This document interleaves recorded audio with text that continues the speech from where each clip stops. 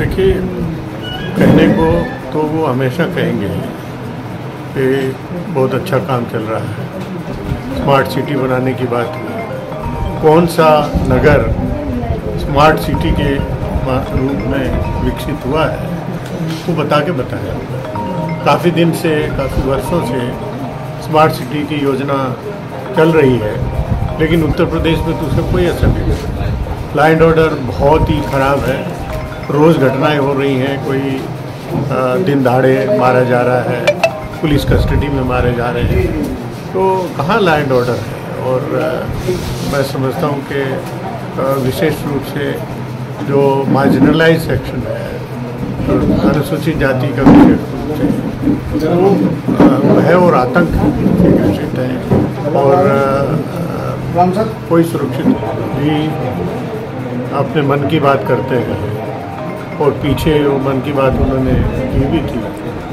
और दूसरी तरफ़ जो हमारे महिला पहलवानों का जो धरना जंतर मंतर में चल रहा है, वो भी चल रहा था। लेकिन प्रधानमंत्री जी को वो याद नहीं आई, उनके दिमाग में ये नहीं आया कि इनके बारे में भी कुछ बोला जाए। अब जन समर्थन उन खिलाड़ियों को मिल रहा है, जो खाप पंचायतें हैं, उनके मुखिया लोग वो उनकी बैठक हैं और जिस तरीके से आ, किसान आंदोलन तेज़ी पकड़ा था उसी प्रकार ये भी एक आंदोलन के रूप में विकसित हो रहा है। देखिए भ्रष्टाचार के आरोप उसमें दो दो मंत्री उनके जेल में हैं। तो पूरा दिया भी है कि क्या क्या आरोप है चार्जशीट फ़ाइल हो चुकी है। तो आम आदमी पार्टी को बताना चाहिए कि उन्हें क्या कहना है इस बारे में?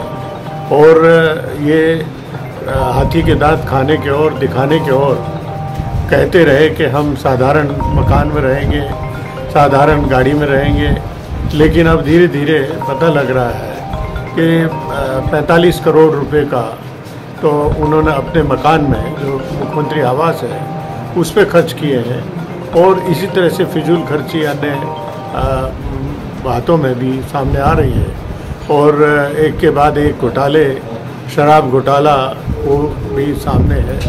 तो आम आदमी पार्टी का जो असली चेहरा, वो सामने आ गया।